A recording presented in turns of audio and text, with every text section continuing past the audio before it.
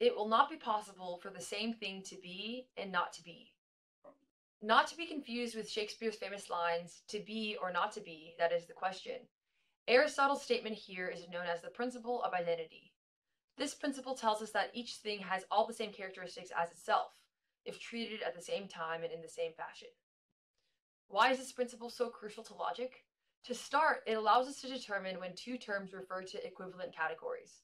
By this, we mean when the reference of the terms, the objects slash categories which a term picks out, have all the same characteristics. In addition, the identity principle allows us to determine when two terms are not equivalent, i.e. when the reference of the terms do not all have the same characteristics. Knowing whether terms are equivalent or not is, in turn, crucial to building up a system of formal logic, which will become clear should you choose to take a more advanced course in logic.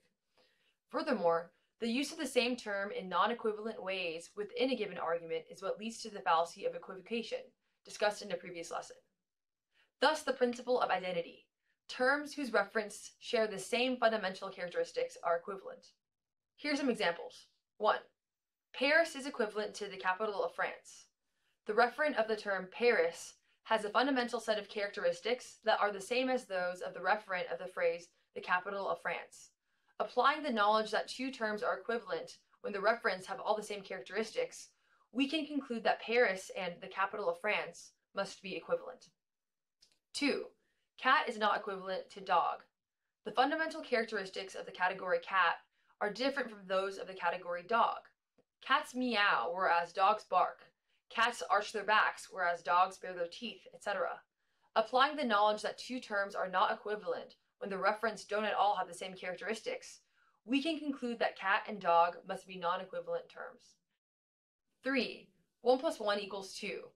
This example illustrates more precisely what is meant by equivalence. As you will have learned in your math classes, 1 added with itself equals 2.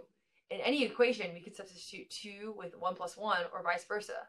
For example, 2 plus 2 equals 4, or 1 plus 1 plus 2 equals 4. Similarly, in any sentence in which Paris occurs, we can replace it with the capital of France by the principle of identity. In conclusion, in order for anything we say to have meaning, the identity of the thing that we're talking about has to remain constant. It is because of this that the identity principle can be seen as fundamental to logic.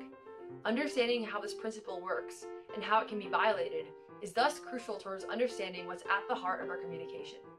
In this lesson, we learned to provide a working definition of the identity principle, explain how the identity principle can be used to determine when two terms are equivalent, and contextualize the fallacy of equivocation with respect to a breach of the identity principle.